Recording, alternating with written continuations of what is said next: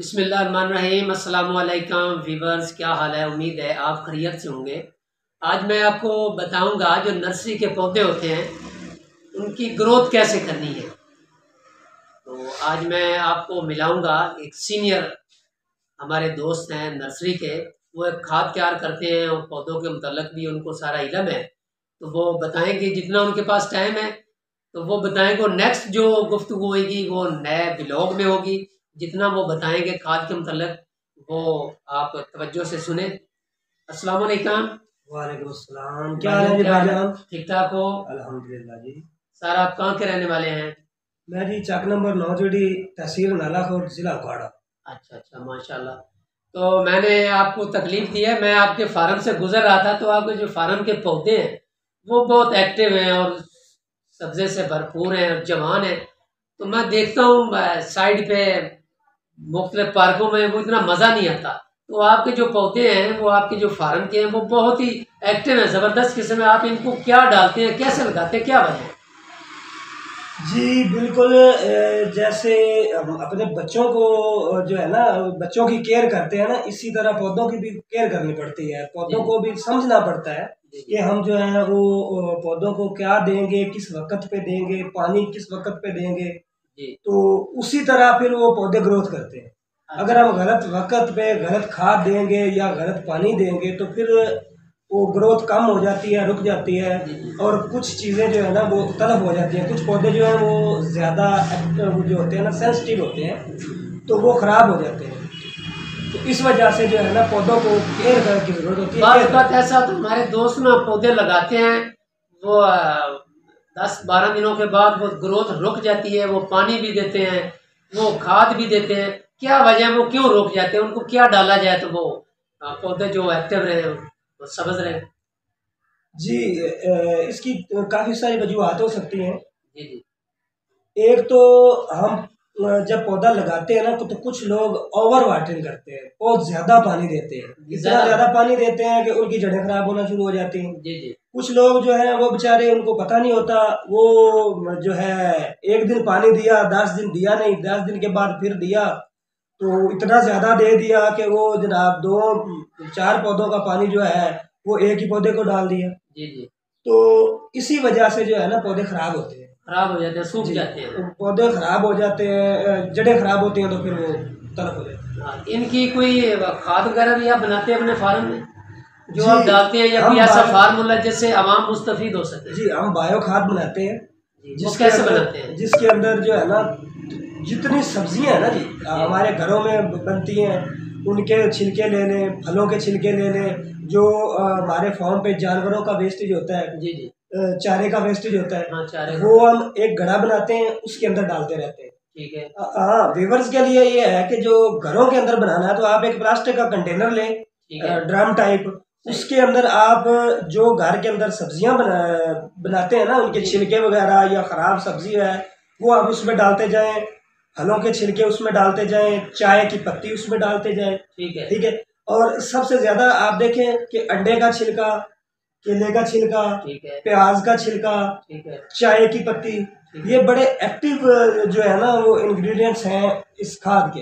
इनके पहले हमने छोटा सा गड़ा बनाना है हाँ, ज़मीन अगर कच्ची ज़मीन है तो आप उसमें गड़ा बना लें। नहीं तो आपको बड़ा कंटेनर ले लें प्लास्टिक का। ठीक है। या लोहे का आपको मज़बूत जो बड़ा हो कंटेनर हो जिसके अंदर आपका कोई पाँच दस किलो कम अज कम जो है ना वेस्टेज आ जाए। जी ठीक है। ठीक है? उसके अंदर एक बात याद रखनी है कि आपने जैसे ही सब्ज सब्जियों के पत्ते हैं या छिलके हैं गिले हैं जैसे हम ऊपर से उतारते हैं ना जी जी हाँ तो वो डालने हैं तो अगर मिसाल के तौर पर छह इंच की एक तय बनी है ना उसके ऊपर तकरीबन तीन से चार इंच की लेयर जो है ना वो खुश्क पत्तों की आपने डालनी है। ठीक है। कि ताकि उसका जो अंदर पानी मौजूद है ना वो डिवाइड हो जाए। वो सारा बिल्कुल गल के वो जो है ना स्मेल आना शुरू हो जाए। ठीक हो तो उसके अंदर यानी कि जितने आप ग्रीन डाल रहे हैं ना सब्ज़ियाँ या फल छिलके वगैरह हाँ उनके अंदर उतने खुश्क भी डाल हैं ताकि वो बराबर रहे। उनके अंदर चाय की पत्ती अंडों के छिलके वगैरह मस्टर्ड के छिलके वगैरह वो डाल दें। हाँ हाँ तो उसके बाद उसको ऊपर से बंद करके तो उसको तीन माह के लिए रख ठीक है। यानी कि ये जो खाद बनाने का फार्मूला ये कम से कम तीन माह का है। जी ये एक दफ़ा यानी कि बना दिया आपकी मैं बात काट रहा हूँ एक दफ़ा बना दिया जाए तो उसके बाद एक साल या दो साल वो जितनी देर मर्ज़ी पड़ी रहे। इनके बनाने में तीन माह लग बनाने में आप देखें कि तीन माह लगाएँगे। वो आप दस किलो बना लेते हैं ना तो दस किलो उसकी काफ़ी बड़ी मकदार है। आप वो थोड़े थोड़े पौधों को डालते रहे वो दस दस ग्राम ज़्यादा से ज़्यादा आप गमलों में डालेंगे। वो ज़्यादा तो एक गमले को कितनी डालनी है? दस से पंद्रह ग्राम। दस से पंद्रह ग्राम। तीन से चार चम्मच। वो हल्की होती है वज़न के अंदर। जब बन जाती है ना तो वो उसकी एक खास किस्म की स्मेल आती है। ठीक है। अगर वो ठीक तैयार हो जाए ना तो बड़ी अच्छी सी बीनी बीनी सी मट्टी की जैसे खुशबू आती है इसी तरह उससे आती है। यानी कि एक पौधा होता है उसको मोरिंगा वगैरह गालबन कहते हैं। जी जी। उसका क्या किरदार है इसमें? क्या रोल है? मोरिंगा जो है ना मोरिंगा जो है ना इसके अंदर काफ़ी सारे ऐसे इंग्रेडिएंट्स मौजूद हैं कि जो पौधों के लिए बड़े फ़ायदा मंद है। आप उसको जैसे मिल्क शेक बनाते हैं ना पानी के अंदर उसके पत्ते लेके उसको आप ग्राइंड कर लें। उसको आप पौधों के ऊपर स्प्रे करें। स्प्रे करें। पौधों को जड़ों में डालें। दोनों तरीके से। अच्छा स्प्रे भी कर सकते हैं। जड़ों में भी डाल सकते हैं जड़ों में भी डाल सकते हैं वो पौधे को एक्टिव रखते हैं। एक किस्म का जैसे हम उनको जो है ना सप्लीमेंट दे रहे हैं। पौधों को। वो एक पौधों के लिए बेहतरीन सप्लीमेंट है। जैसे इंसानों के लिए ना उसकी जड़ भी खाई जाती है जो पत्ते वगैरह हैं सबज पत्ते। सबज पत्ते वो काट लें उसको ग्राइंड कर लें। उसको ग्राइंड कर ग्राइंड कर उसमें पानी डाल लें। जी जी। उसको ज़्यादा उसकी स्प्रे भी हम कर सकते हैं। उसको पंद्रह दिन के बाद पंद्रह दिन के बाद। शावर के अंदर डाल के अच्छी तरह आप ऊपर जो है ना वो स्प्रे कर दे। स्प्रे कर दे। उससे होगा क्या कि उस, उनको एक सप्लीमेंट मिल जाएगा पौधों को। ठीक है। वो जैसे हम एक मरीज़ को ताकत की कुछ चीज़ खिला देते हैं ना इसी तरह पौधों को आप जो है वो एक सप्लीमेंट दे रहे हैं एक ताकत की गजा दे रहे हैं। वो आप स्प्रे भी कर दें और हल्की मकदार में उसके पानी के अंदर जो है ना जड़ों में भी डाल यानी कि जो चीज़ आप बता रहे हैं अगर ये हम घर में बना लेते हैं या अपने छोटे से फार्म में या मोहल्ले में पौधे वगैरह जो लगे होते हैं या पार्क वगैरह तो ये बेहतरीन खाद है जो आप बता रहे हैं। जी ये बेहतरीन खाद है।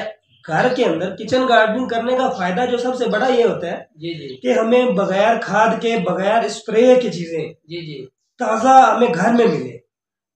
ये एक फ़ायदा ये भी है कि हमें वो घर में से कम पैसों में मिल रही होती है। हाँ लेकिन जो बड़ा फ़ायदा है वो ये है कि आपको ऑर्गेनिक चीज़ें मिल रही होती है।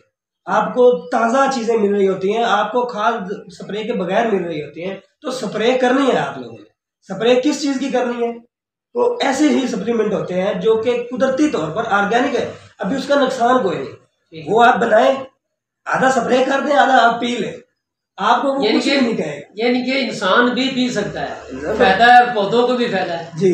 अच्छा किस किस्म कौन कौन से जो पौधे हैं जिनको हम डाल सकते हैं ये हर पौधे को हर फ़सल को हर पौधे को आप डाल सकते हैं। हमने इसको सब्जियों पे अप्लाई किया है। ठीक है। हमने इसको सिट्रस पे अप्लाई किया है। हमने इसको जो इंडोर प्लांट्स है ना हमारे जो है एरोकेरिया वगैरह उनके ऊपर भी हमने इसको अप्लाई किया है। उसका बेहतरीन रिज़ल्ट है। ठीक है इंडोर आउटडोर छोटी फ़सल बड़ी फ़सल दरख्त पौधे हर्ब्स शर्ब्स सब चीज़ों के ऊपर आप इसको अप्लाई कर सकते हैं। Moringa in the best of the world कि ऐसी चीज़ है कि अल्लाह ताला ने एक करिश्माती पौधा पैदा किया है कि तकरीबन 360 इंसानी बीमारियों के लिए। जी जी। तकरीबन 360 से जायद बीमारियों के लिए अल्लाह ताला ने इसमें शिफा रखी है। माशाल्लाह ज़बरदस्त। जो पहले आप वो खाद बता रहे थे वो गड़ा खोदना है वो जी मैं दोबारा रिपीट कर देता रिपीट कर दें जी। ताकि वो जो सुनने वाले हैं वो उसको रिटर्न कर लेंगे लिख लेंगे और अपने अपने घरों में या छोटे छोटे फार्मों में वो बना लेंगे जी। आप अगर आपके पास कच्ची ज़मीन है तो आप उसमें तीन बाई तीन का एक गड़ा बना लें या दो बाई दो का एक गड़ा बना लें। ठीक हो गया। उसके अंदर घर के अंदर इस्तेमाल होने वाली जितनी भी सब्ज़ियाँ और फ्रूट्स है जी जी। ठीक है। हाँ चाय की पत्ती सब्जियों और फ्रूट्स के छिलके चाय की पत्ती अंडे के छिलके ये चीज़ें जो है ये आप उस गड्ढे के अंदर फेंकते हैं। जब वो उसके अंदर ये थोड़ा सा कर लें कि खुश्क पत्ते जो है ना पौधों के वो आप इकट्ठे कर लें। तय बतय लगाते जाए एक तय वो लगा दें दो चार इंच की तय लगा दें सबज की दो चार इंच की ऊपर पुष्प की लगाते जाए। एंड के ऊपर उसके अंदर थोड़ा सा गोबर अगर मिल जाए ना गोबर मिल जाए हाँ तो वो भी हल्का सा डाल दे। ठीक है। तो डालने के बाद ऊपर आप उसके ऊपर एक छापर दे दें। खाद वगैरह डालने कुछ डालने की ज़रूरत नहीं है।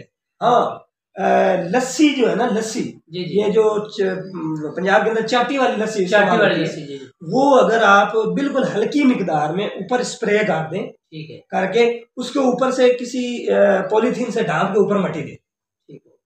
वो आप दो से तीन माह के बाद अगर उठाएँगे ना तो वो नीचे मट्टी तैयार हो चुकी होगी। वो एक भुरभरा सा जो है ना वो मवाद तैयार हो चुका होगा।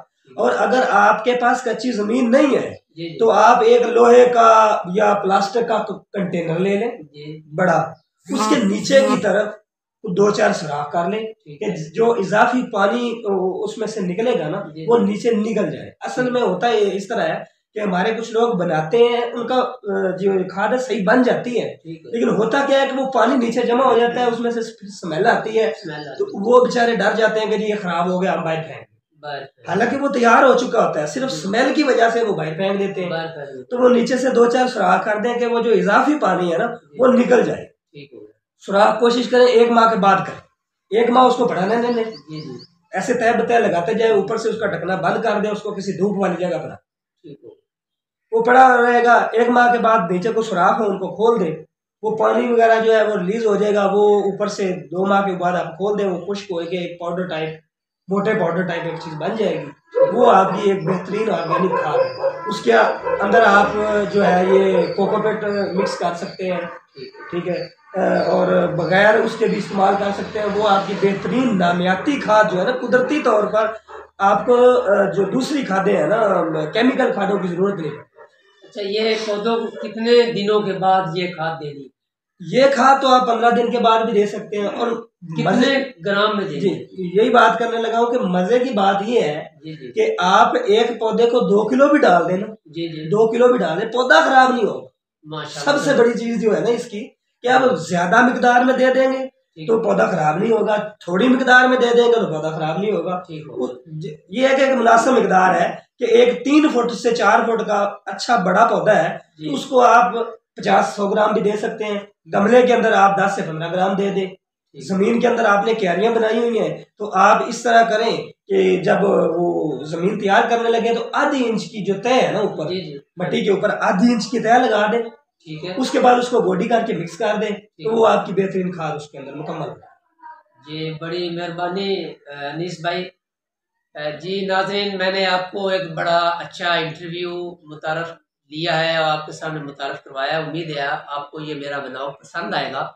और आप इसके ऊपर अमल करेंगे और आपकी पौधे और जो नर्सरी है, वो ठीक ग्रोथ करेगी। तो अगर आपको मेरा चैनल पसंद आए तो इसे लाइक और सब्सक्राइब ज़रूर करना। दूसरे ब्लॉग में आपको बताएँगे कि घर में कौन कौन से पौधे लगाने हैं, कैसे लगाने हैं, कौन से पौधे हैं, वो दूसरे ब्लॉग में पार्ट टू में आएँगे। तो मैं इजाज़त चाहता हूँ। अल्लाह हाफिज़। Mm-hmm.